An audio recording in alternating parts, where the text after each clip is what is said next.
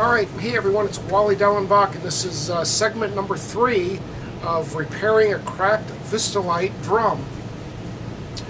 Uh, so if you kind of want to pick up on uh, number one, watch one, two, this is three, and uh, this is the buffing and polishing. And um, what I want to do first of all, this is the shell that I've been working on. Here's the crack. I've wet sanded the outside of the crack. I've wet sanded the inside of the, the shell, outside of the shell. I've wet sanded the bearing edges, top and bottom. And um, so what I'm going to do is I'm going to drape the drum over the camera. And this is kind of a preview, if you will, to the fourth segment where I'm going to actually just kind of, I'll, I'll, do, I'll drape the drum over and it'll be in its finished state. And uh, we'll drop it in a box and ship her off. So segment four will be uh, packaging and shipping. So um, what I'm going to do here is I'll drape the drum over the camera. You take a look at it. So there's the crack. And you can see where it's been sanded. and my gosh, this drum is just beat to smithereens. You can see there, there's the lug hole for the mini lugs. There's your um, mini clips. Now, I don't know if you could see that, but you might see, let's zoom in on it, you might see, now I don't, I don't know that, if that's crazing or if those are just little micro fractures from having the, um, the lug screw just way over tightened and I think that's how the shell got broken. Somebody probably really torqued up on the screwdriver and tightened those up really tight. There's my, I'm living Ludwig people. they ought to just make me an endorser. Okay, so there's that. And you can see basically overall, you see how cloudy it is from wet sanding. And um, I'm going to go ahead and flip this over. And I've actually kind of started to buff a little bit on the outside here. I don't know how well you can see it, but you might be able to see a little sheen. See that nice little shine in there? Okay, so now I'm, what I'm going to do is I'm going to just do a, I'll set here. I'm going to show you the products that I use. I don't use Nuvo. I've not used it. Um, Mike, this the owner of this drum, Schumacher, um, he, this is his drum. He bought some Nuvo. He bought a set and he's restoring it. And um, he sent this drum for me to repair, repair the crack and um, he bought two sets of the Nuvo and he's going to send me a set and I'm going to use it to polish his drum. But in the meantime while I'm waiting for it I'm going to show you what I've used over my span of doing these things okay? Now uh, for the home for the home novice um, who's not really industrial who just wants to basically maintain and care for your kit what, what you do is um, of course you mechanically inclined you take your set apart and what I do is I use a 5 inch buffer 5 inch buffer. You can buy these at any home store, home remodeling store. Um, brand's not important. Let's not look at this. It's a 5 inch. Now the only thing is, is that when you buy a buffer like this, just make sure that they have plenty of replacement bonnets. Um, fine, you want to always use a fine, uh, clean, clean. Never set this thing down on anything. Never set it like this when you're buffing. Always set it on its side or have some kind of stand that you could set this on. and this is a um, this is your, it's a, a wool type of bonnet, okay, for finishing. And um, you probably buy these at any hardware store. Now, just like I said, when you buy something like this, always make sure that they have replacement bonnets. Don't buy this from Home Depot because they do not support um, replacements. This is a 5-inch buffer, and they sell 7-inch replacement bonnets you know, I talked to the manager about it, and I was like, you know, talk to your purchasing people because they're making a big mistake. So um, it's not been corrected, and that was a year ago. Uh, so anyway, that's their problem. So don't go to Home Depot and buy this, okay? Now, so what you want to do, just for the home, um, you just you got a set of Ludwigs or Vistalites or whatever acrylic drums. You want to take them apart, clean them.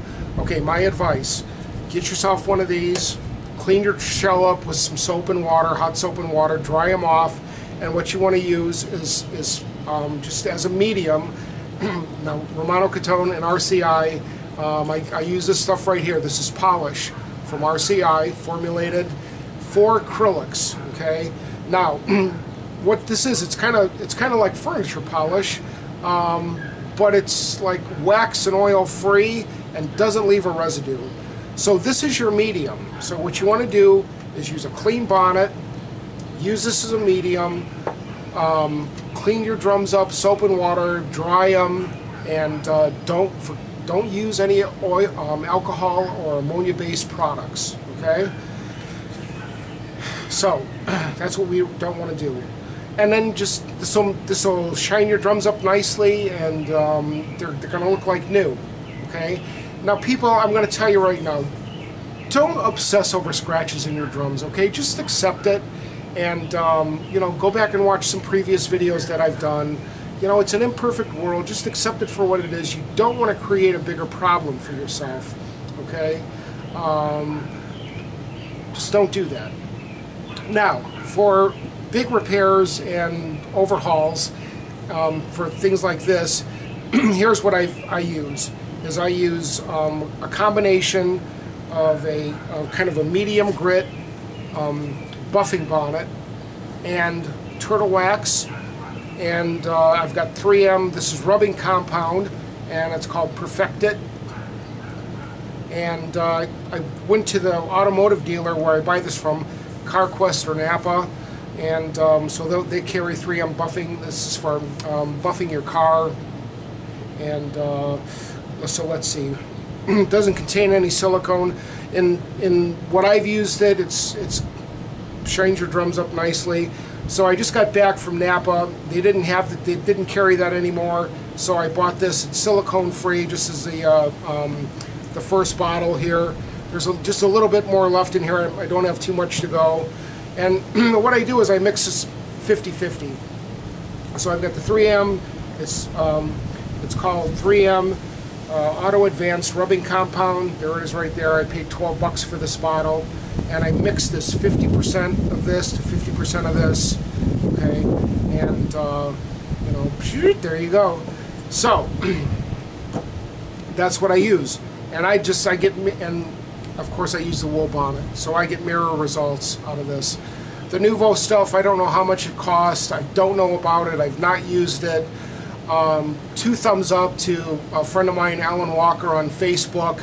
Man the guy's phenomenal. He uses Nuvo um, he's a big drum restorer I have a whole lot of respect for him. He does a beautiful job.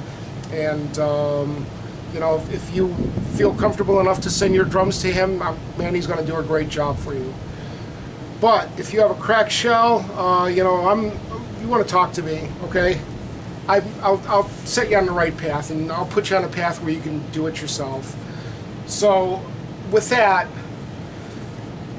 let's let's give this a go, and I'm going to show you how I do it. Oh, before I get going on this, I'm not going to bore you and let you watch me buff a shell how boring.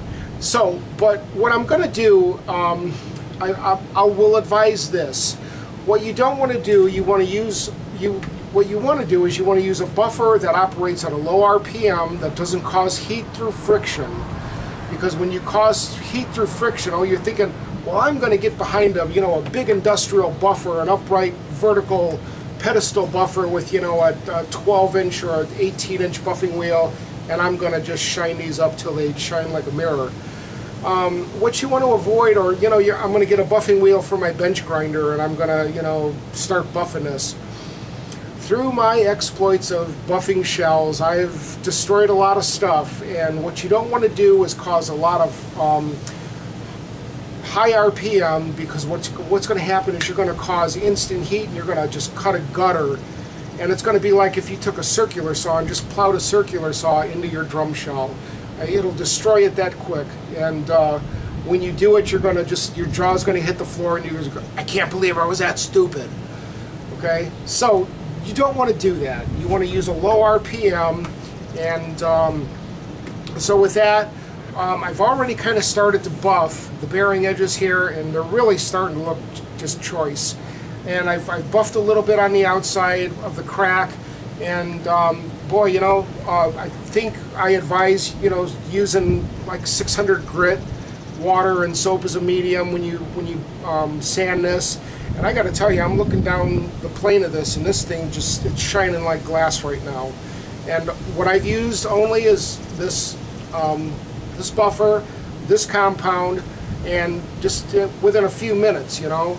So what I do is I don't I don't put a whole lot of, of uh, medium on it. and I call this medium, and um, so let's go ahead and put this on.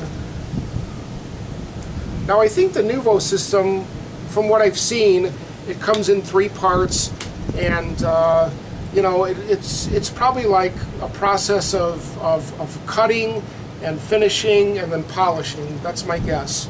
So what I'm what I'm trying to do is just do it all in a polishing um, type of a fashion. Now with this shell, there's some cuts and scratches on it, you know, and I you know watch segment two. Um, I kind of I'm, I'm not worried about cuts and scratches, and don't you obsess about them either. It's an imperfect world. Wrap your head around it and just accept it. This is an instrument. It's to be played. It's to be used. Um, it's up to you. I, you know, I'm more concerned as a musician. I want to be a better drummer than worrying about how pretty of a drum set that I have. So don't get too hung up on the cosmetics of life. Um, it's kind of like having a beautiful girlfriend or a beautiful wife as a trophy. Um, don't make your drum set into a trophy because you're going to be afraid to use it. Okay? Maybe that's a bad analogy. I don't know. But you get it, right? Okay, so I've, I've put a few squirts of, of the compound 50-50 with the turtle wax. I dropped it. And uh, so we're going to go for it. Now, um, I've seen photographs of people that have like um, a, a, seven inch, seven and a half inch, like a grinder that you hold with your hand, and you use them maybe to like buff a boat or a big truck. You don't want to do that because how are you going to hang on to this and manage this drum? How are you going to hold this drum down? Those are the things you got to think about. How are you going to how are you going to hold this drum down if you use a buffer like that? Um, you want you want to have as firm a grip as possible on this shell because you don't know what's going to happen if you put a big buffer on this. Um, you could torque the shell or bend the shell or twist the shell, putting a big buffer on it, and you'll just you'll break this thing to smithereens, and you won't even know what happened until you look on the floor and see your shell in bits and pieces. So people, I'm telling you right now, for the home novice, I'm giving you the best advice, the best instruction that I know how and I'm applying the, the, several years of experience that I have, and I'm giving it to you for free. So don't poo-poo it, don't shove it aside and think you know better, because trust me, I've destroyed shells, okay? and I don't want you to have to. Now, so here we go. Got the medium on, got my buffer, to start it up. You're to get a little bit messy. You're to get your trousers messy. Um, I'm on my back patio here in Indiana, and uh, this is kind of the brown bottle section of the project. So uh, we're going to go ahead and hit the go switch. I'm going to make sure that I have this shell firmly in my hand. And um, so let's give her a go. All right. I'm still able to talk and um, buffing away.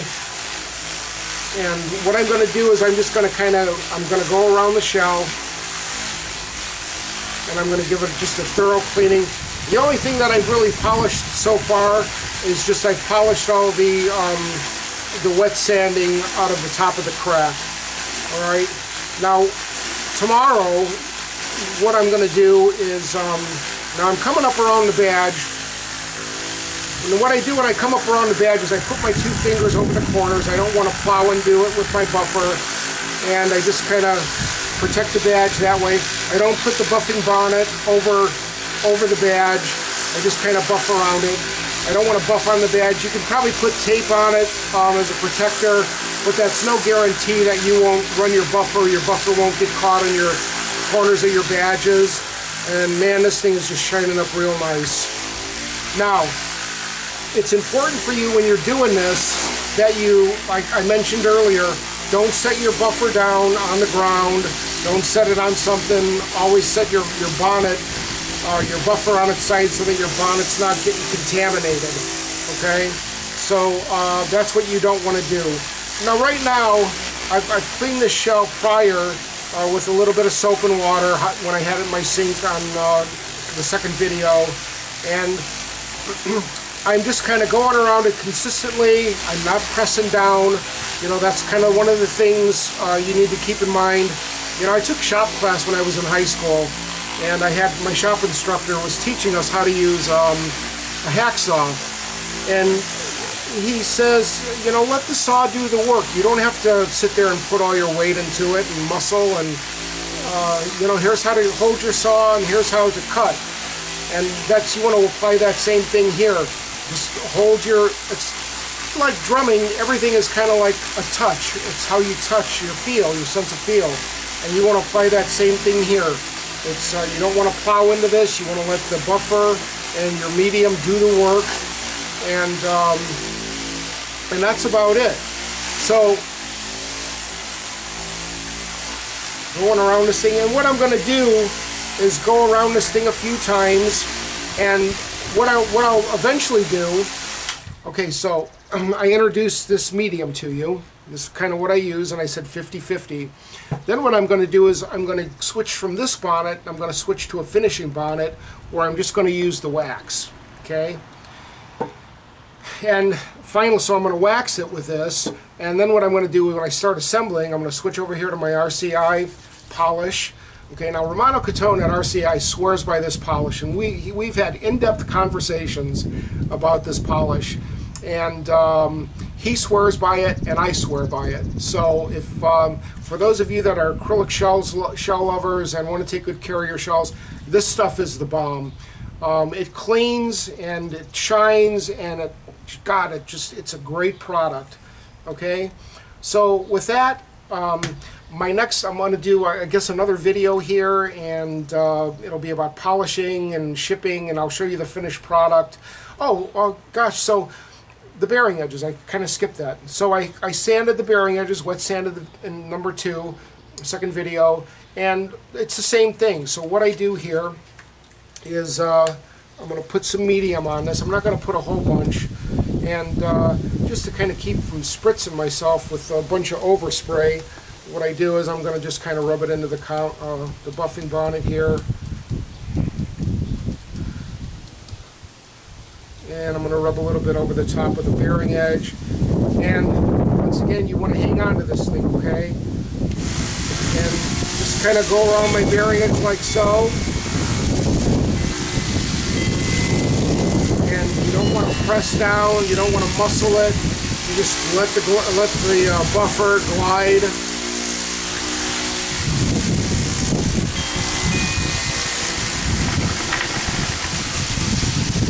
And any, anybody can do this, you know. Just be sure that you're in a safe environment. Um, you know, it, it would be it would be smart for you to have some kind of carpet in case this thing got away from you and fell. Um, you know, always consider your surroundings. This is just, uh, it's a summertime project. I'm outside, I'm having a good time. Um, I'm confident and uh, I have faith in my skills. And really, if you just go around this thing, I mean, you go around it all day for all I care. The more you go around it, the shinier it's going to get. But how you can tell is um, when you start, when you put your rubbing compound, your medium on it, it'll look wet. You know, it'll kind of look like you're smearing around bacon grease on it. But after a while, the, the compound kind of starts to um, dry up and start to do its job. And all buffing is, what you're doing is you're rearranging the molecules on the surface. Okay, so if you have like a scratch, and we talked about scratches, you know, don't get too hung up on scratches. This is the best thing you could do for a scratch. Don't wet sand it, just do this, take it, buff it. Don't get, don't worry about getting rid of that scratch, you know. Buff it like this, and do the best you can. You're not gonna buff it out. You'll, you'll make it so it's not like scratchy or has burrs on it. But you know what? buff it a little bit and celebrate that scratch as a road scar and um, like a notch in your post to your experience as a drummer. You know, don't don't be ashamed of, of scratches on your kit. You know, that's just uh, that's just how it is. Now this thing is really starting to shine like glass, and just within the, the minute or so that I've been talking to you, showing you this, okay, God darn, look at that. And and all this was, it was like 600 grit wet sanding, and I went around this shell probably 10 times with just a little bit of dish soap and some water. And I'm gonna close out this video. I'll go around this top and um, until I'm satisfied with it. And I'm gonna give you a shot of this bearing edge. Now, like I said, when you do a project like this, gosh darn it, man, don't don't think you're going to get this all done in a day because you're not. This is a big project, and um, the way the way you approach doing something like this um, is going to be a testament to how well this turns out when it's all done.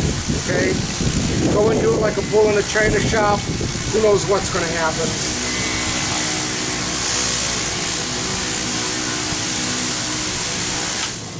Alright, now before I drape this over the camera and close out the video, I'm going to emphasize right now uh, where I, I might have emphasized before just lightly.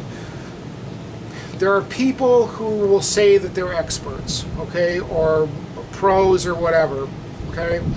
Now, um, and they'll say, you know, I'll do that for you, but you, you want to be careful unless you could see like a portfolio or examples of their work you know, I'll quote again, and I think I did this in video number one, Tyler Durden in the movie Fight Club, just shoving feathers up your butt does not make you a chicken. And in the same respect, just because you own the tools does not make you a professional, okay? So be leery of people who call themselves professionals, all right? Um, through this video series, what I'm trying to do for you is give you the tools and the knowledge that you need to at least be an informed consumer, okay? and and that's what it's all about. Um, once again, we're a drumming community. We should kind of be looking out for each other, taking care of each other, and uh, you know, this is just one of the things. Mike Schumacher, he's a friend of mine on Facebook. Um, I, I, got a lot of respect for him. He's a retired military man. I'm going to take care of him. I'm a retired vet, and uh, to me, it's a brotherhood. So I'm going to look out for him. I'm going to take care of him the best I can. So with that, once again, just follow these simple rules. This is the third video installment of repairing the shell, and um, I'll show you right now the the, uh, the bearing edge, man. It's really pretty cool. All right, so let me get here on the other side of the video camera so I can see the maybe see. I don't know how well you could see that shine on there.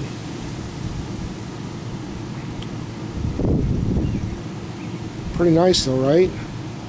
Look at that. And that was wet sanded with 400 grit. Kind of shaking the camera, sorry about that. Sweet. Alright, so everyone, be cool. It's still Saturday, day number two of this project. Um, I'm moving into the, uh, going to try to follow my own advice from video number two about getting out and barbecuing and spending time with some loved ones. So, and I'm going to start drinking some brewskis. All right, so everybody be cool. Thanks for watching. Take care. Drum, practice, and you know, play your kit and, and bang the heck out of it, right? They're your drums. Play them hard, write them hard, and put them away wet, right? All right, until next time, everybody, I'm Living Ludwig. There you go. Everybody, peace.